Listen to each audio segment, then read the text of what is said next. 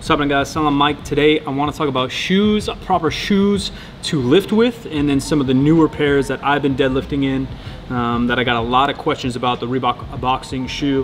Hopefully you guys find this helpful, uh, choosing your footwear to lift weights in and to be stylish. Uh, I am an ex-sneakerhead. I do like a lot of sneakers. I am endorsed by Reebok. Uh, I am a sponsored athlete by them.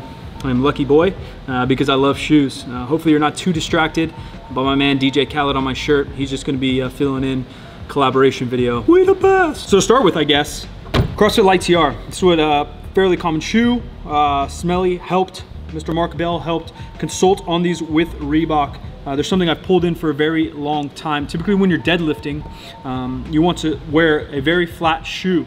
Uh, when you're pulling conventional, uh, I think it becomes less important this type of shoe. You just need a flat. And beyond that, you can kind of pull pretty good in any shoe. So um, I pull sumo and conventional.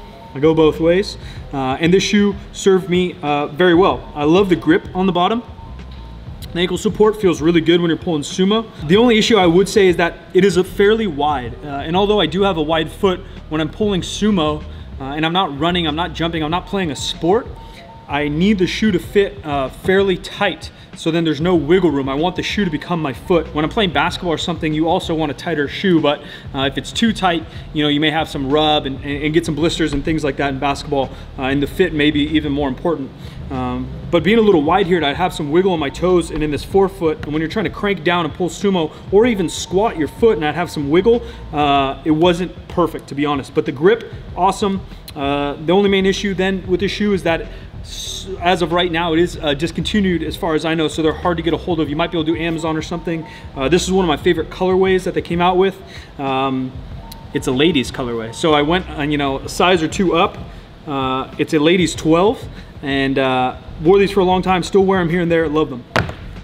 One of my actual uh, favorite shoes, uh, it's a Kendrick Lamar uh, collaboration, Club C. And I basically just brought this one because I like it and I love how it looks. Uh, two, just to show that something like this you could probably squat in okay uh, and you could probably pull conventional in just fine um, because it's flat-ish you guys can kind of see um, that's all you really need with a conventional shoe. A lot of people use different skateboard shoes or other brand shoes that are fairly inexpensive and that works well. Uh, and for many, it can work well in the squat also. The, the only thing is, I guess, personal preference with whether you like some ankle support. I personally do like a little bit of ankle support. Um, and then number two would be grip, I guess, if you're really torquing on that thing um, for the sumo or, or a, a, slightly wider stance squat. Already did a video on this. You guys can refer back to that. This is the Reebok Legacy. This is their uh, top level weightlifting shoe. Um, when you're squatting, if you should use a heel, if you should not, mostly depends on kind of ankle uh, mobility and how you hit depth. If you hit depth fine with one of these, often you don't need one of these. Uh, it does change your lifting mechanics slightly. Um, it's a little bit more trial and error what you need. So I would probably start with the flat shoe, uh, and then if you find some issues, maybe experiment with these and see how you like them. Uh, I've been squatting in a heeled shoe for some years now, uh, and I can uh, honestly say this is probably my favorite shoe. As I mentioned before, it's, it's really solid, uh, it's heavy, um, and it's very comfortable for me. Uh, I, use, I use these straps a lot. I don't tie them down that much. Uh, and I love to squat in them. Pulling in them, maybe not optimal. Some people do get away with a conventional pull in a heel. I don't recommend it for a sumo pull, um, and I don't typically recommend it for a conventional pull either. Um, I think it'll be a very rare case that somebody needs a heel. Basically, it's just lifting your heel up so then your hips um, can break your knee, uh, which is parallel, a little bit easier. Uh, very comfortable shoe, a little pricey, but in my opinion, worth it. Now, what you guys been waiting for? Probably my favorite looking shoe uh, out right now. This is uh, Reebok's top uh, boxing shoe. I think they have two different levels. Uh, this one's a little more expensive because of uh, the leather, I believe, and the limited colorway. This one uh, might be closer to $200, where they do have a more affordable one that's under 100, I believe. Don't know anything about boxing, but I like the look of this shoe, and I know a boxing or wrestling shoe are fairly flat, so um, I got them to try them out. And as you see, they are fairly flat. The grip is pretty good as well. So I've been pulling sumo in these. The only complaint, uh, slight complaint I do have that makes them not optimal for a sumo pull. I do think they would great work great for any squat or any conventional pull, uh, to be honest. But when you're really trying to push on the outside of your foot and screw that foot in, uh, the lip here uh, is just a little bit jagged. So sometimes uh, I feel just slightly unstable in the toe box. Uh, but again, these are made for boxing. They're not made for sumo deadlifting.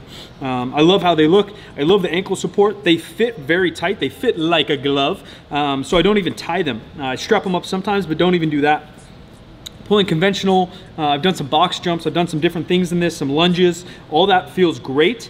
Um, conventional stiff leg uh, squats, you kind of name it, feels really, really good. Uh, it's just the sumo, and this is just me being picky. I've still pulled um, multiple PRs in this thing, uh, rep PRs.